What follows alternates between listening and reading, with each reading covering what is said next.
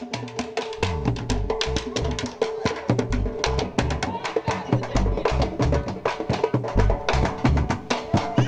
novia estaba enamorada de él. Iba al estadio y, se quedaba, me hacía quedar hasta el final de, cuando salen los jugadores para gritarle a Alberto y saludarlo. Y el sueño de ella era, saludarlo y abrazarlo. Y yo ahí corrí. Es como, por ejemplo, llevar este, a tu novia a que vea a Brad Pitt, lo mismo.